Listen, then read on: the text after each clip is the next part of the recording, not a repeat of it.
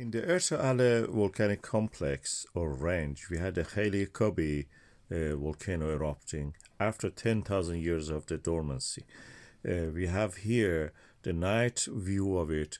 We see a small uh, lava lake and the plume of the uh, sulfur dioxide and the ash also moving toward the uh, Yemen the north of the Indian Ocean and the Indian subcontinent. What you see in the other parts, uh, I mean, in for example, in Qatar and uh, other parts, is our uh, sulfur dioxide or sulfur signature from the gas fields in the Persian Gulf, and also the pollution from industrial uh, towns and areas in the Indian subcontinent and Pakistan. If in the future, it will re- reach almost the, the town of Karachi, the Sindh Valley, north of India, Nepal, and eventually uh, the Himalayan mountains.